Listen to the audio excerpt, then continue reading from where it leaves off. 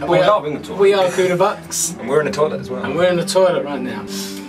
Yeah. Now take my bathroom Unisex, because that is. And letting you know that on the 19th of February, we're playing at the Mill in Rayleigh. Five pounds ticket. Toilet. We're then uh, recording our first EP at the beginning of March. And which will be available at the end of March. What's all the lip smacking for? It's like the Joker. because more Kuda Bux is a delicious musical taste hmm.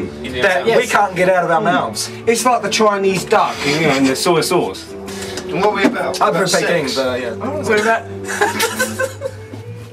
Speaking of food, Harry. What? oh, yeah. Oh! We're going with those, are we? Oh, we're, we're looking at taking fairy liquid and putting eh? it back into solid fairy. Hey guys, Kuda Bux is a no product placement band. As of So yeah, now. we're on MySpace and Twitter and all that. it's with spray and bleach. Don't, don't product, don't product place those those places. And uh, Facebook. And Twitter? Are we on Twitter? No, but we we are now. Why aren't we on Twitter? Yeah, Why aren't we on we're on Twitter. Pete, take care of it.